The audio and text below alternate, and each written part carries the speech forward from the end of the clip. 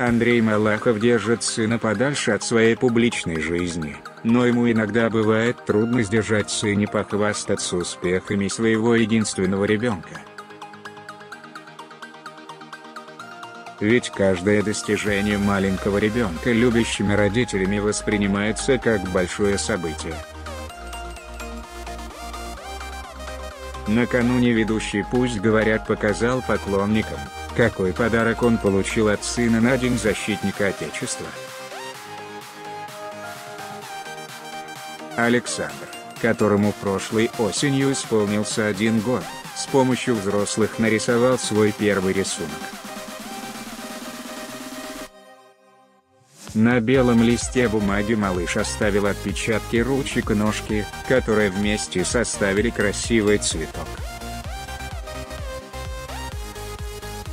На трогательном рисунке жена Андрея, Наталья написала короткое послание от сына, «Дорогой папа», с 23 февраля. А еще жена ведущего поставила на нем забавные хештеги, на случай, если любимый не догадается, как именно был нарисован цветок. Малахов, несмотря на большую занятость, старается быть идеальным папой. Специально ради общения с сыном Андрей каждый день встает на два часа раньше.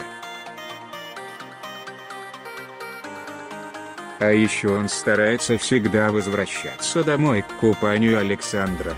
Кстати, равно в год малыш сделал свои первые шаги. Сейчас ведущий уже, наверное, с трудом догоняет своего шустрого сына. Кстати, Андрей до сих пор не показал поклонникам своего сына. Причем, он не публикует в сети даже его снимков, сделанных со спины.